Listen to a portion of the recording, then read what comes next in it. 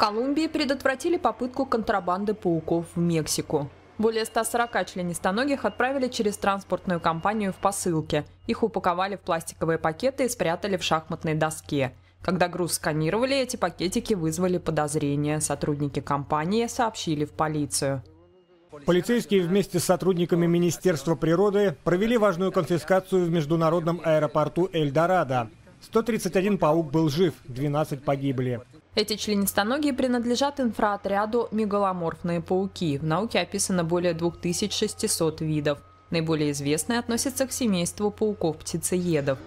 Конфискованных членистоногих передали в Центр реабилитации диких животных. Там их осмотрят и окажут необходимую помощь. Специалисты также выяснят, в какой местности они были отловлены. Потом их выпустят на волю. Колумбия – одна из 17 стран мира с богатым биоразнообразием. Там обитают десятки тысяч видов животных. Это привлекает множество контрабандистов.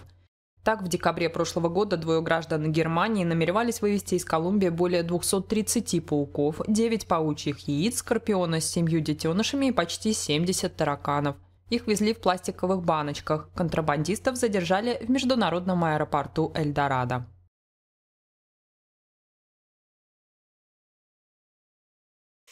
Подписывайтесь на наш канал и смотрите мировые новости. Мы освещаем факты, а выводы делаете вы сами.